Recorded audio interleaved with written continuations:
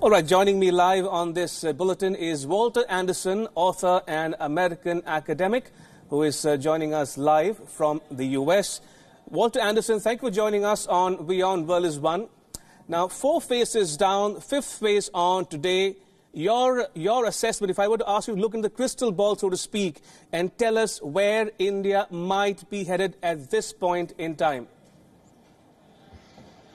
Well, a couple of interesting things is that the voting turnout um, is about the same as it was last time. Right. Uh, so, which means there's clearly no wave going on, either for or against the prime minister or for or against anyone else. But there are a couple of interesting things that some of the uh, pre-election polling showed is that in the three critical Hindi-speaking states that the BJP lost in December, the prime minister's um, uh, um, the the appeal of the prime minister, the support for him, is over sixty percent in all three of those. Now in uh, UP there is something of it's a little more problematic. It's only about 43% uh, uh, favorable to the prime minister, but he's considerably above Rahul Gandhi in all of those places. In fact, the only places where Rahul Gandhi is ahead is in some of the South and among groups, uh, among Muslims and among Dalits, and that's not surprising in, in, in either of those cases. So I think what you have is it in some ways makes the election more exciting because it's a little more unpredictable as to how it's going to end up. Indeed, and we've been discussing about the election uh, for the last four phases as well. Now, from your uh, vantage, Walter Anderson, do you at all see an, a wave or an undercurrent for or against a party or candidate? No, I don't. Uh, and, and one sign of that?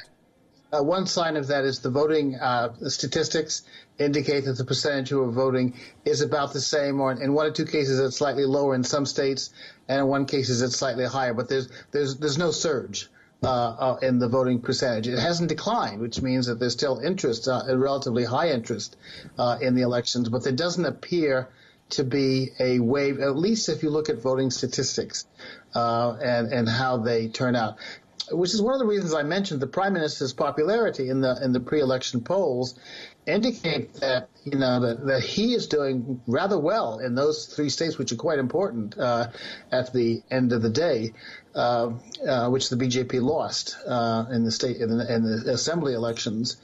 And in that, he, you know, 60% is a rather high figure. Now, can that translate into seats for the BJP? And there's some debate about that among political scientists, but I tend to think it, it provides a setting that's more favorable to him, at least in those three states, than elsewhere. UP is, is, is where the interesting case is because there it's lower. It's not nearly as high as in those three states I just mentioned.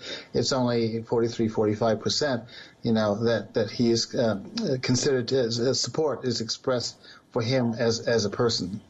And that sort of follows that, you know, the almost all the predictions are that the BJP is going to lose seats in that area and so they have to make up uh, in somewhere else. And in the polls, the last poll and this poll, you know, you've got votes uh, voting in West Bengal, which is what the BJP is hoping to get considerable support.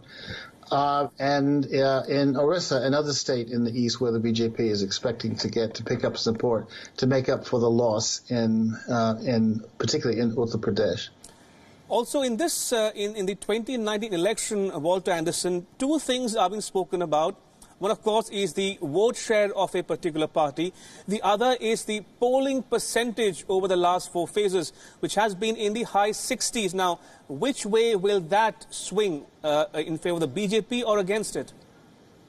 Well, if you had, you know, actually, my point is, uh, there's been a surge, but uh, increased right. voting percent, but in some places, not all places, some places it's actually lower. Uh, it, it's more or less about the same as it was last time, which is why the point I make is made is that you don't appear to have a surge for or against anyone else because the voting percentage is more. It's relatively high by American standards, but by Indian standards, particularly the last elections, it's relatively the same as it was the last time before. Uh, so uh, you know, if you look at this election and um, this phase of the election and the previous phases of the election, which is very important for the BJP because a large percentage of the BJP votes, uh, uh, MP votes, come from those areas. The BJP is not expected to do well in the Dravidian-speaking south of India, and all the pre-election polls show that to be the case as well. But I don't see uh, there, even in, in elections that have been in, in, in the districts of the South, I don't see a surge either. I don't see a voting percentage jump in any of those either. Uh, now I know in this set of elections you have you know some very important people running, and it's going to be important right. to see how Rahul Gandhi does and how his mother does and how Rajnath Singh does uh, performs. Um, uh, I strongly suspect that each of them are going to win their constituency, but the question is by how much. Walter Anderson, you spoke about the key battles uh, in, in this phase of election today. As you mentioned, Amethi, Raebareli, Lucknow, and so on. And you mentioned that Rahul Gandhi might hold on to his seat. Is that what you're saying? Yes, I, I suspect what I've been hearing and the statistics I've seen polling is that he is likely to hold on, perhaps not with the margins that he has had before, but he's very lucky. He's got a formidable opponent as well against him this right. time more.